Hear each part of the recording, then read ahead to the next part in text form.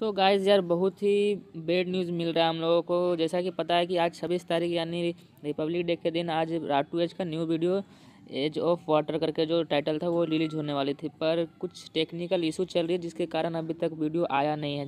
जी हाँ आप लोगों को जितना वीडियो का इंतज़ार है ना उतना हमें भी है। तो गाइज़ ऐसा ही कुछ चल रहा है और उसमें मतलब इन लोगों का जो टेक्निकल इशू चल रहा है ना उसमें कुछ आपस में ये लोग बात लगभग ऑलमोस्ट कंप्लीट हो चुकी है तो अभी रैन बताएँगे क्या क्या रह गया है। वीडियो में कुछ नहीं रहा है बस थोड़ा बहुत जो भी है कलर ग्रेडिंग वगैरह ये रहा है बस।